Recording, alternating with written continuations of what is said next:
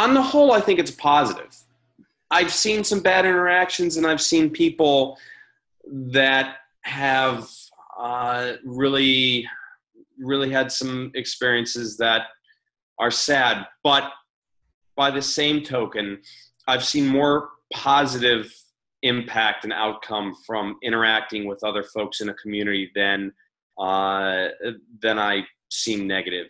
For me, um, you know, once when my daughter did finally die in January of 2011, um, my entire life uh, changed, and it changed for the better in a lot of respects.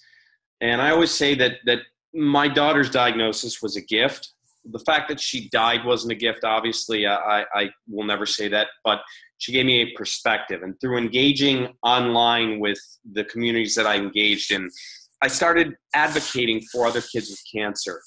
And I started, um, you know, joining in in this community and helping out families that were far less fortunate than than my family. And the people I've met along the way have just I'll never forget them. And it's also allowed me to have a professional focus and a, a, a new career helping people and, and fighting for kids with cancer. And so I definitely think it's positive.